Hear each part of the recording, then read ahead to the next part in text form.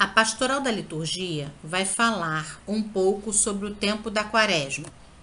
Quaresma é o tempo que precede o trido pascal para nos prepararmos a participar da vitória de Jesus sobre a morte e o pecado.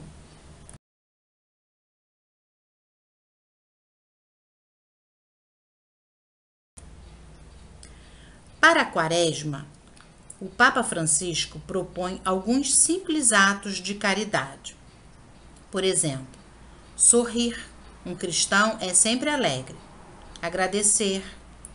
Cumprimentar com alegria quem você vê todos os dias. Ouvir o outro com amor sem julgar. Estar atento a quem precisa de você e ajudar. Telefonar para os que não estão podendo sair de casa.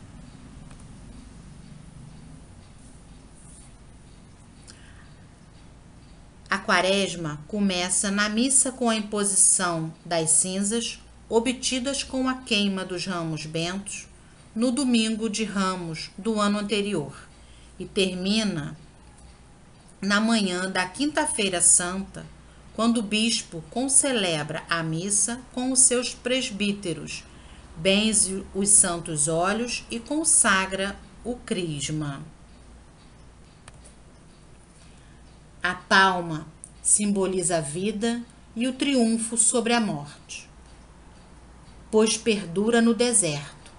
Ao entrar Jesus em Jerusalém, o povo agitava palmas e clamava: Hosana, que significa: Dai-nos a salvação para mostrar que acolhia a nova vida que lhes trazia.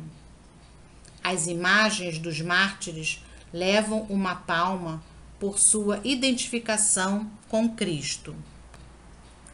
Na Quinta-feira Santa, temos o rito do lava-pés.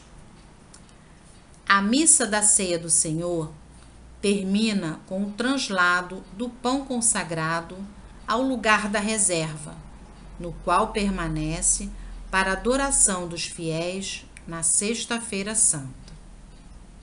Na Sexta-feira Santa, a celebração litúrgica é composta de partes: liturgia da palavra, adoração da cruz e comunhão, no qual se partilha o pão consagrado na noite anterior. O Sábado Santo é repleto de simbolismo. Fogo, Círio Pascal, liturgia da palavra extensa que percorre toda a história da salvação. A cor litúrgica para esse dia é o branco.